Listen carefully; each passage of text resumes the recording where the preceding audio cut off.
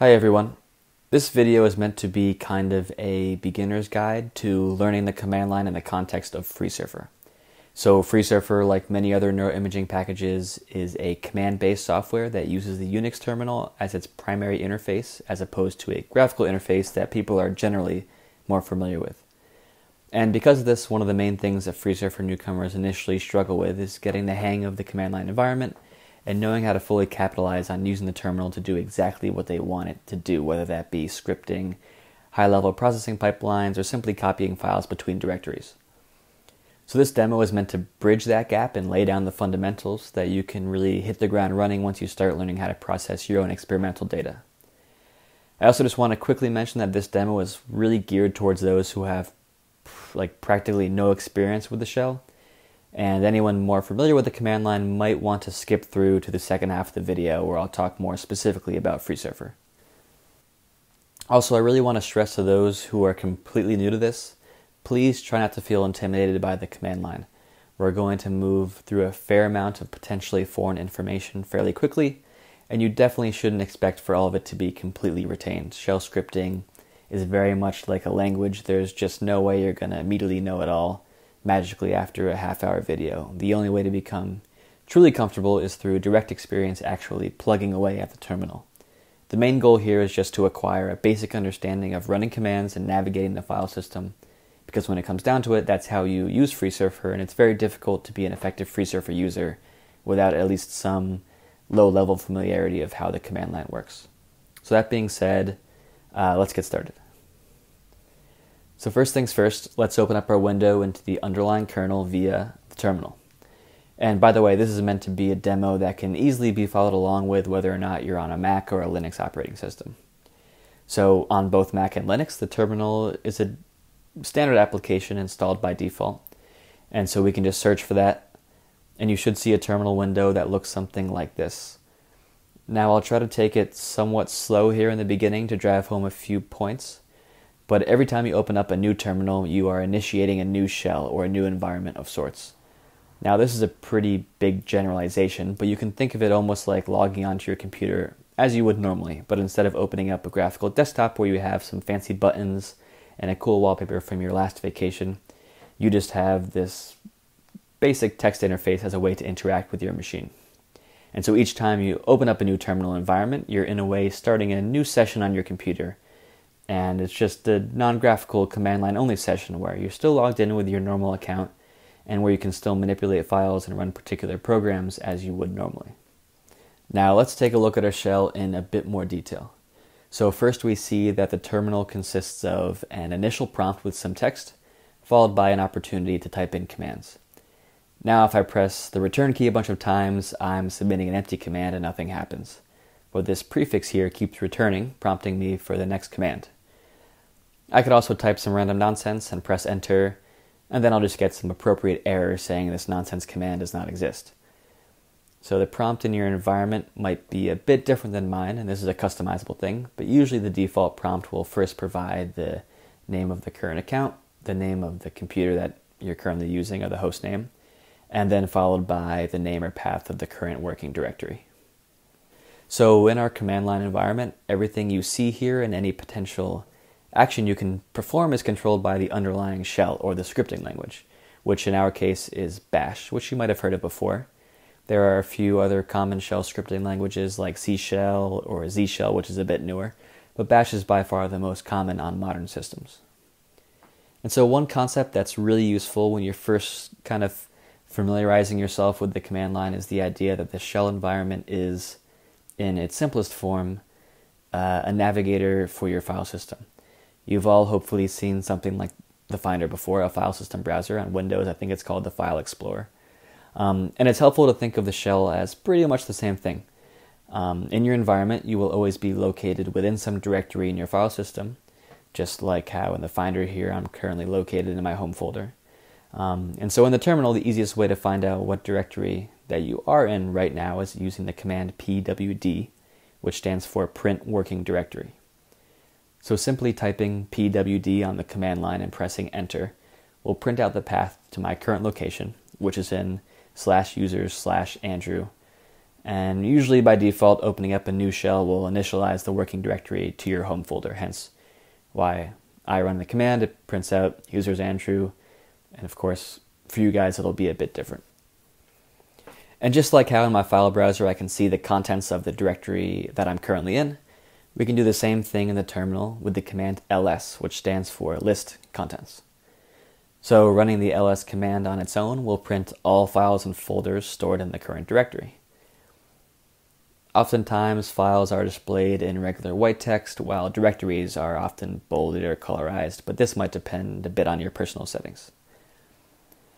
Now, what if we want to list the contents of a directory that we aren't currently located in?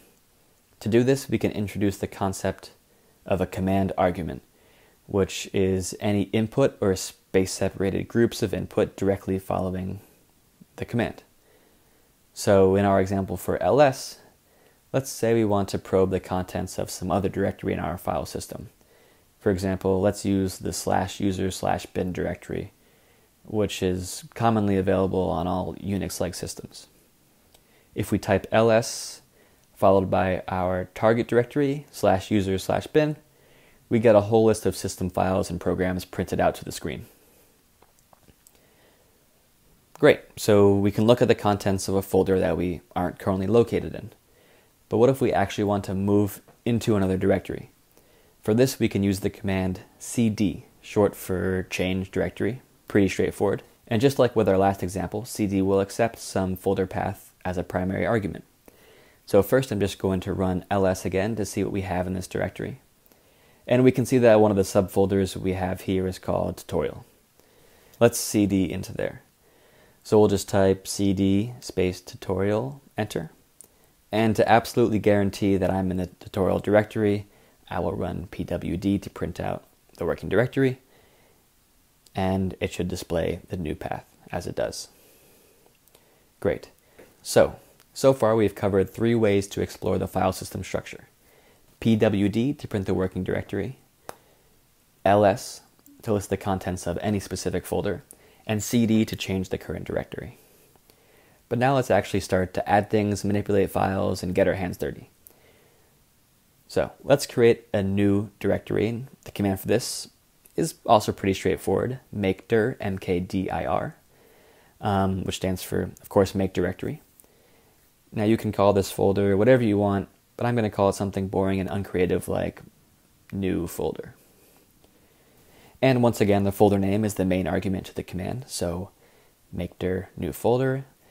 And as soon as I press enter, you can actually see that this new directory is immediately reflected uh, in the file browser on the right.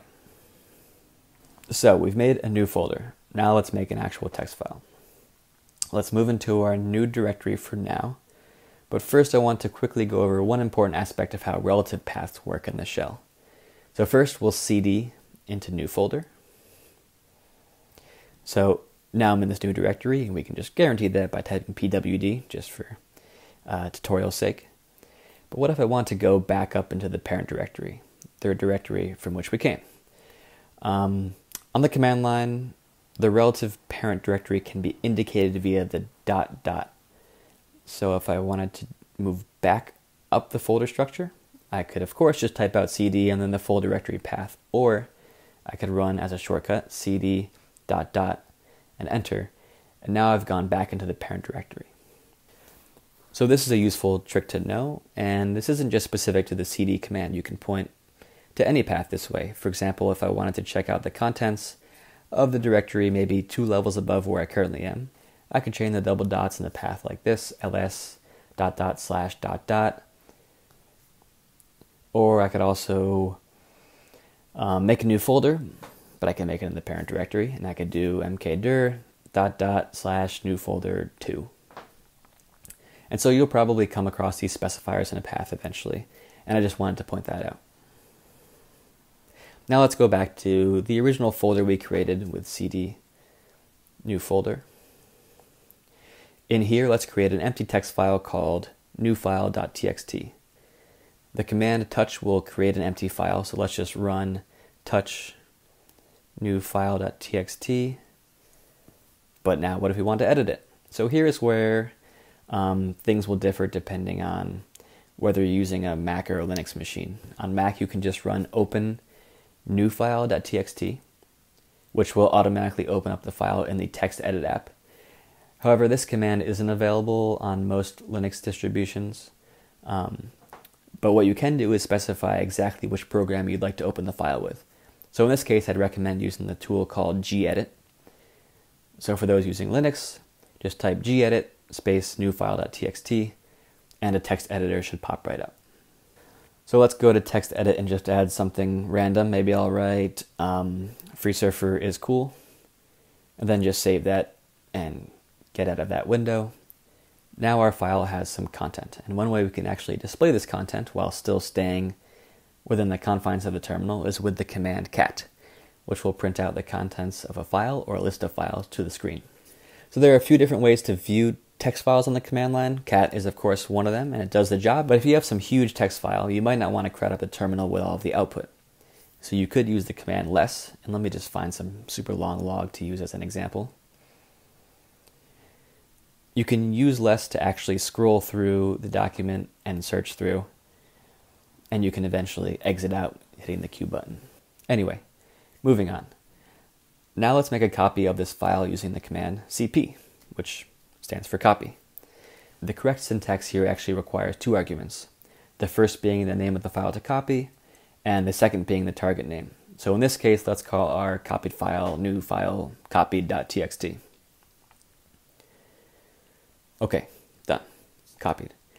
But now maybe we decide we don't actually like that name and want to call it something else like just copied file. We can rename files with the move command, mv.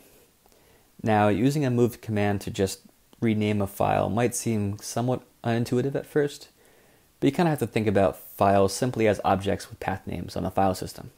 Therefore, renaming a file is just a matter of modifying the underlying file path. So let's rename our file with mv. First argument should be the name of the file to move, and the second should be the target name.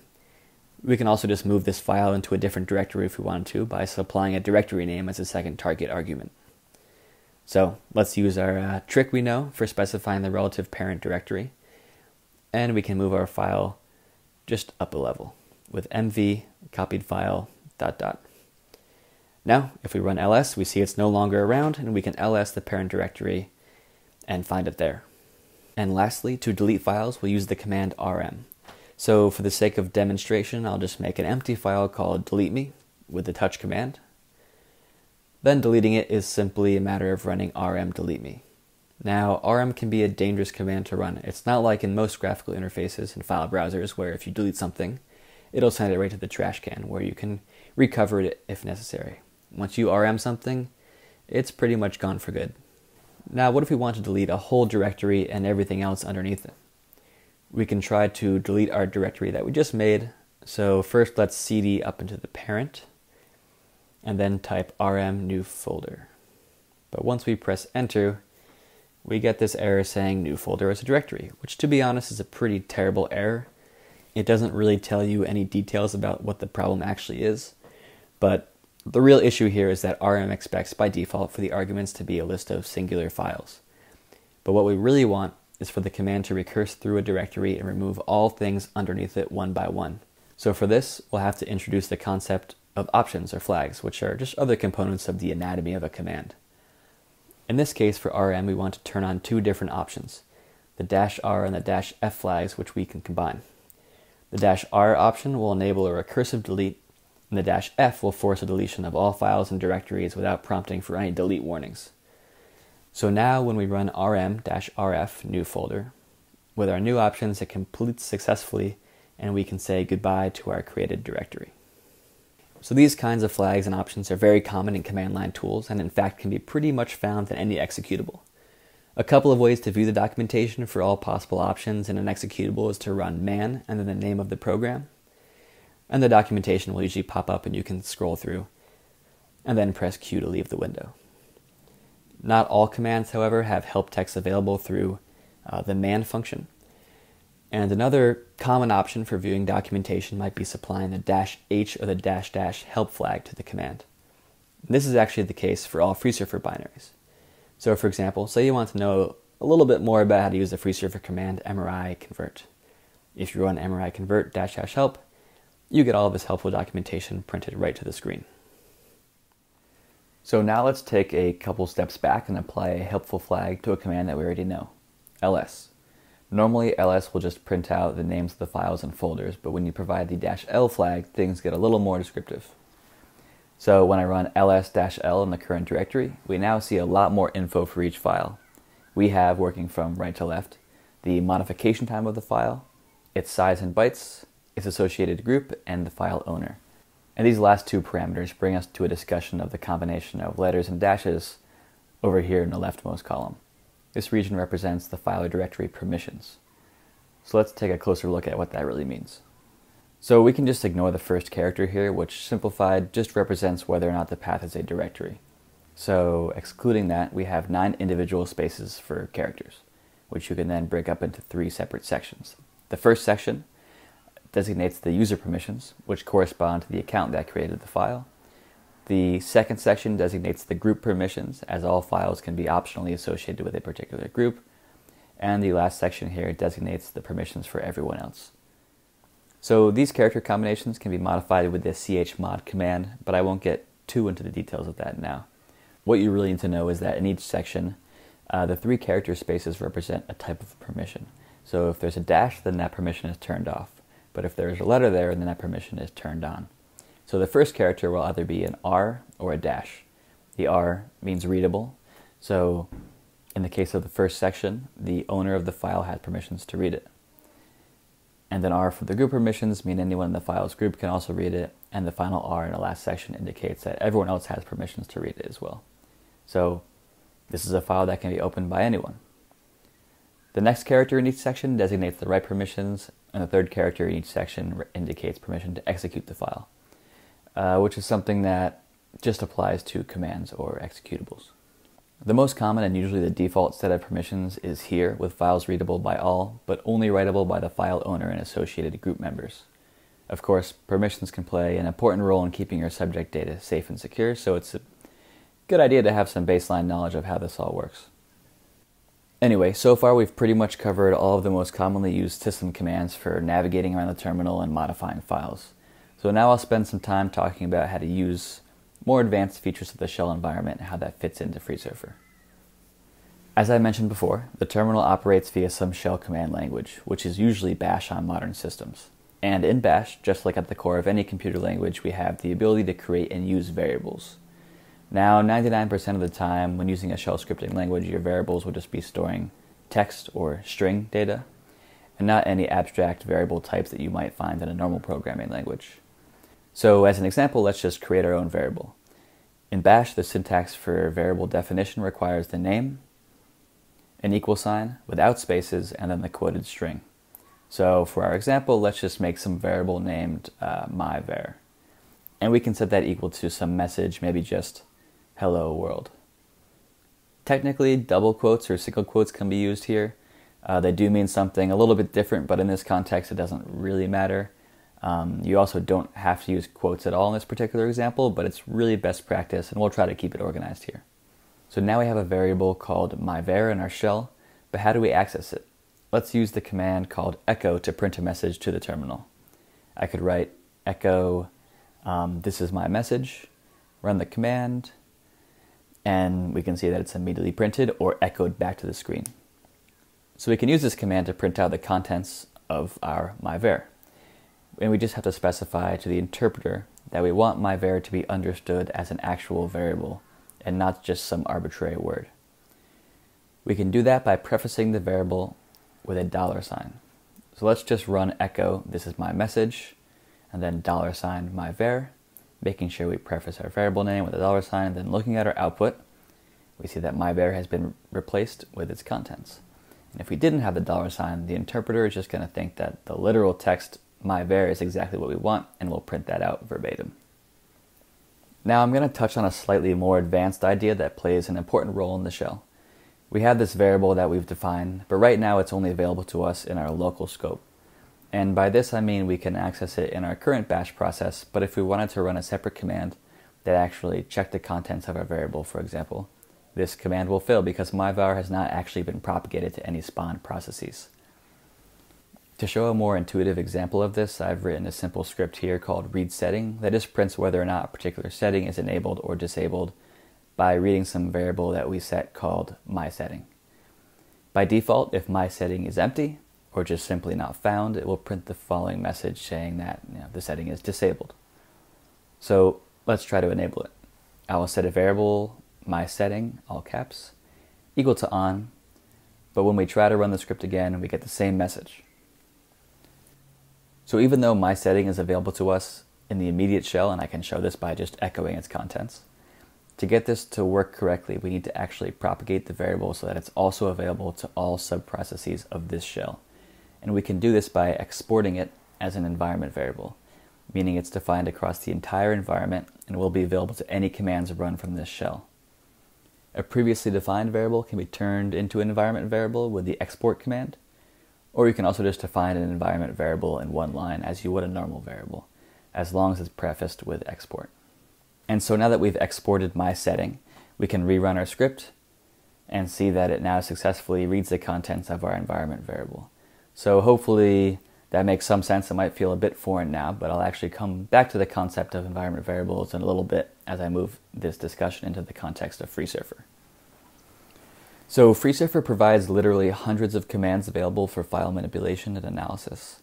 Just like how we have system commands like ls and cd and rm that we've covered, FreeSurfer has programs like MRI info, MRI convert, MRI binarize, recon all, etc., etc.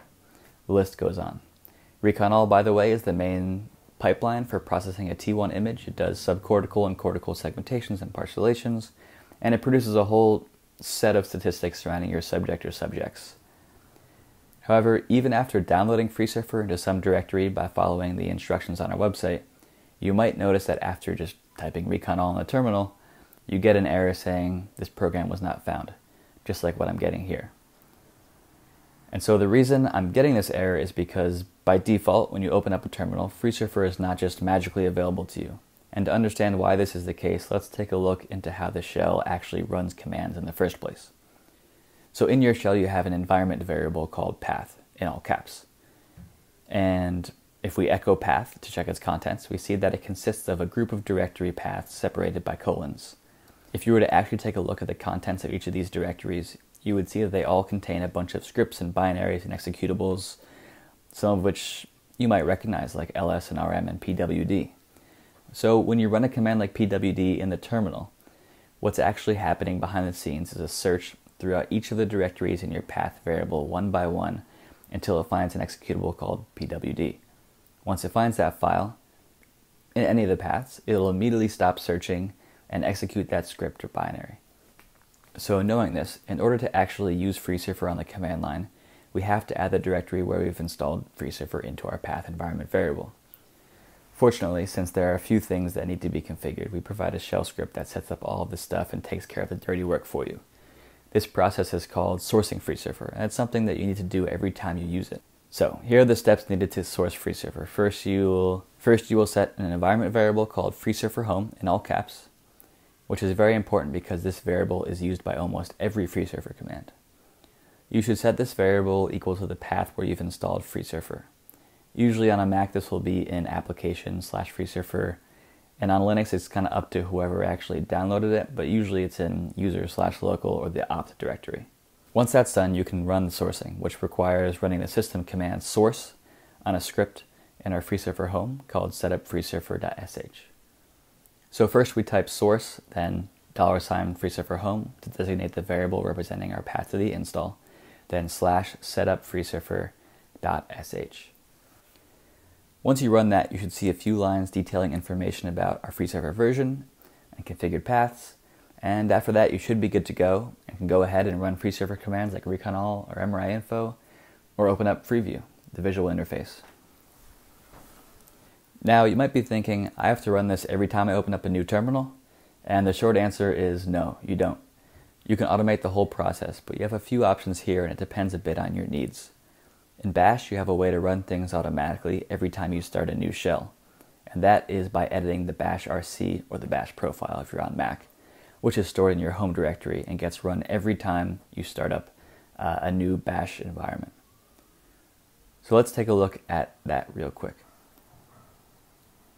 To cd into your home, you can run cd with just no arguments, or you can also just run cd with a tilde as an argument, as the tilde is kind of like a shortcut for home.